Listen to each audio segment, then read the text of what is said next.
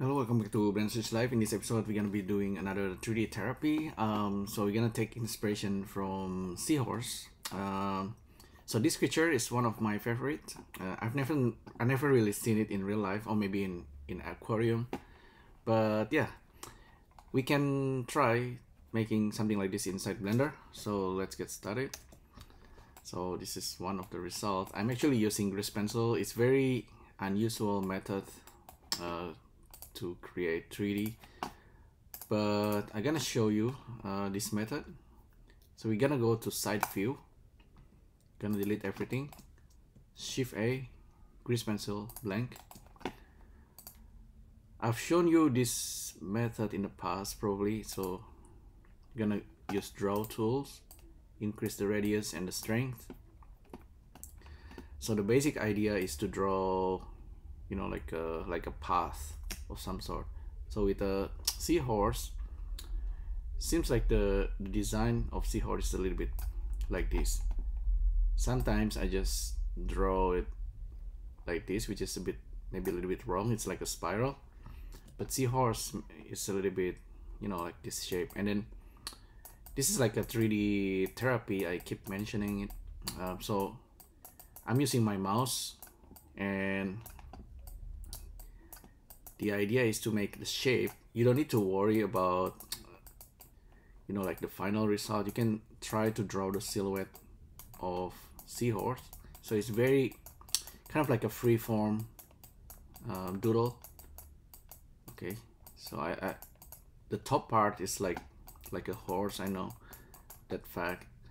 As for the tail we're gonna try to add details later but for now just yeah just making it whatever you like. Basically this is the silhouette of seahorse right? You can make it like a dragon. Uh, maybe sea dragon? Okay. So once you have this silhouette it's kind of flat. But the cool thing about grease pencil uh, let's save it first before before we continue. Seahorse we can go to sculpt mode and start sculpting.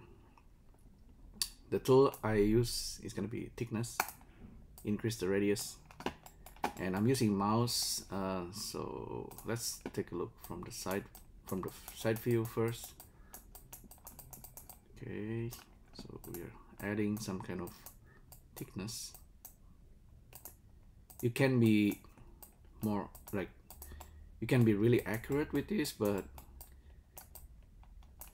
start to have like uh because this is like a 3d therapy you know you, you're free to do whatever. Just feel free with the tools.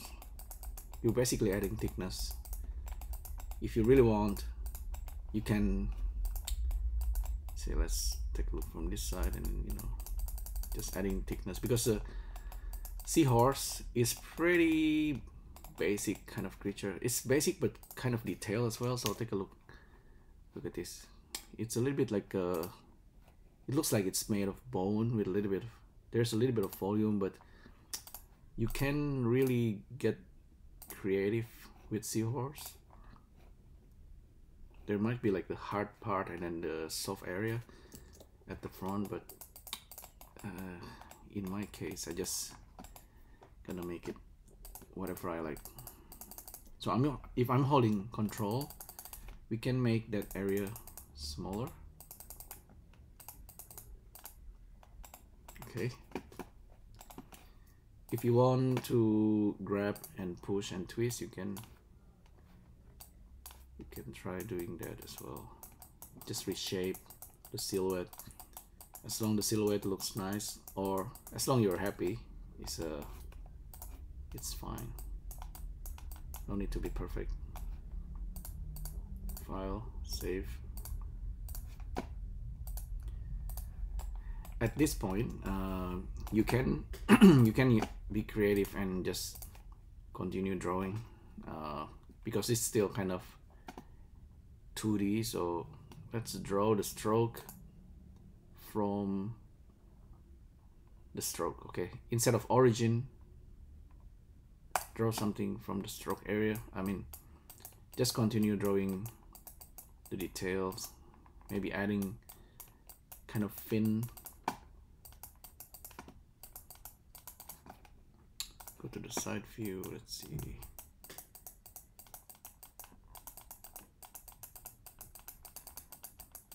Yeah well at this point there's nothing much. I mean can draw that. And mirror. You can go back to sculpt. Thickness adding thickness once again. I as long they are touching I, I just we just try to make sure they're kind of touching. So once you're happy with this just gonna apply this mirror. Okay so we have our grease pencil stroke happening right click convert this to Bezier curve. Now this is the grease pencil. Oh this is the grease pencil. Now we have the curve. You know what I'm gonna do? Adding depth whoops okay. That's too much. 0 0.02 0 0.003 yeah I'm just adding a little bit of depth. Some area might need a tweaking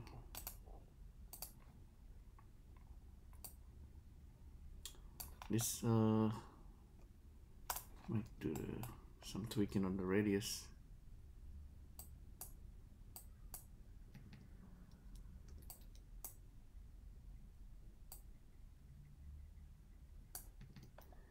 So we want we want this to be touching. Or just select this area command L control L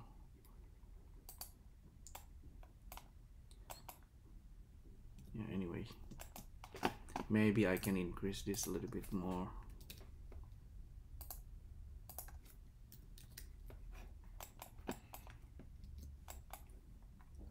Yeah. Okay.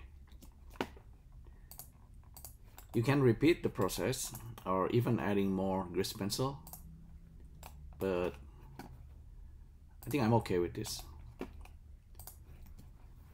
this is a remember this is a curve object right? If you bring this to geometry nodes geometry nodes will actually look at it. Okay. This is um, a mesh. So you can do like mesh to volume. And volume to mesh. Okay. Which is pretty pretty cool pretty handy I'm gonna increase the voxel and just gonna play around with the number. You can go more detail less detail. Yeah. Okay it's not bad. Okay look this is a curve object. It's still kind of live. It's being translated from grease pencil. Um, unfortunately we cannot really have grease, uh, geometry nodes to convert grease pencil yet. So I'm just gonna duplicate this guy and then right click convert to mesh okay? So this guy is now becoming a real mesh object. You can right click shade smooth okay? Now we can start. If you want um, you can continue with sculpting. It should work pretty well if you want to add things like eye eyeballs or things like that. Oh before I start uh, this thing needs to we want to turn on symmetry and you know so we can have symmetry. So at this point re really we start doing sculpting and yeah as usual. I'm not the best sculptor but I know if I treat this like a 3D therapy I don't I don't need to worry too much you know. But things like this we are still like kind of in a concept mode so we can enable dynamic topology. When you're using dynamic topology it's gonna add resolutions as you're working on the area. Uh, yeah. Maybe you can even use like snake hook. Remember from the from the previous um, 3D therapy, you know, yeah. Seahorse.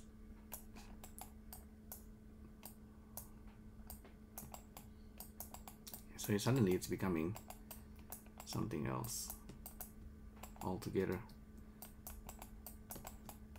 This this area, okay, maybe you see, because it's like a free form. Don't need to worry. I, I like this shape. It's a little bit like dragon.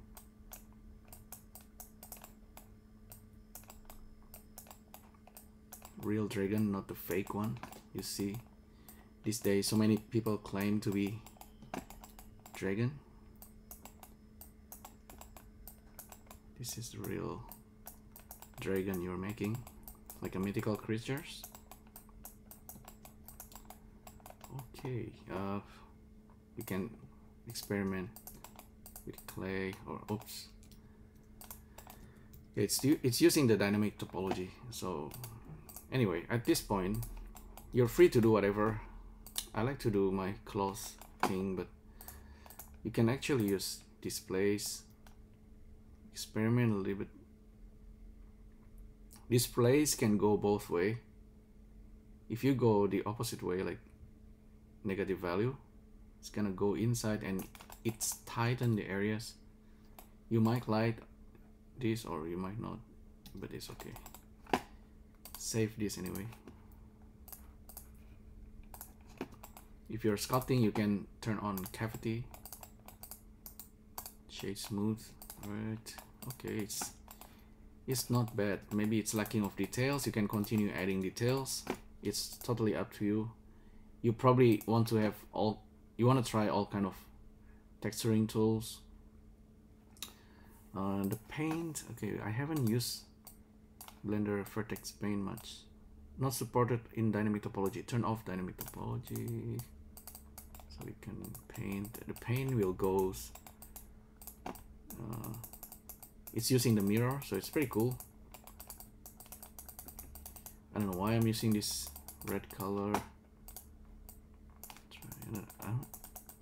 whenever doing painting sculpting I like to start with I probably like to use all kind of random color. There must be a better method to do this but I'm okay like at the beginning you're setting the base so maybe this is okay you know I'm using vertex painting anyway. It's, this is not like a final. Maybe using darker color or on the, some areas and brighter around the stomach.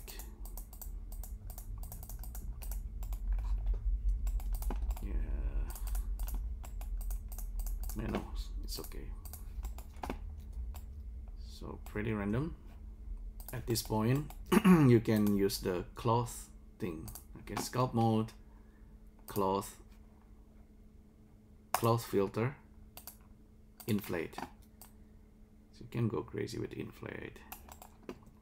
Yeah. I just yeah maybe not too crazy.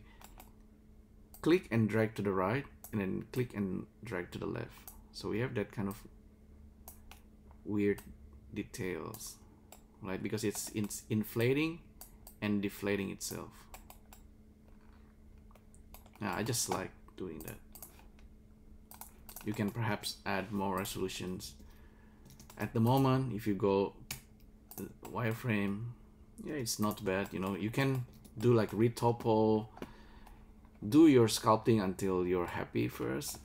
But after you do that, you probably want to do retopo. Try remeshing. It's probably gonna gonna complain because what? Your mesh needs to be manifold and have face normal blah blah blah. Okay. Go to edit mode. Merge vertices by distance. Okay it's it's not happy with the mesh at the moment so usually the technique is to use remesh this gonna increase the resolution like crazy. Something like that. And after you do that, go to edit mode, merge vertices by distance, and then do the quadri quadriflow remesh once again and yeah, still complaining. Okay, just do the another remesh then.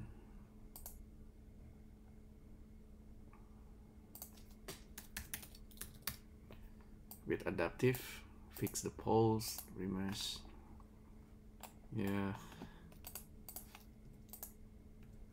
I think this is okay. You can try quadriflow still unhappy. Delete some vertices that you don't need. Merge vertices quadriflow this time it's working. Yeah no it doesn't like it. Anyhow don't worry about that. Normally it works. But this is the whole process basically. Grease pencil all the way into this final result. Okay anyway thanks again for tuning in. Hopefully this is useful and i'll see you next time. Thank you. Bye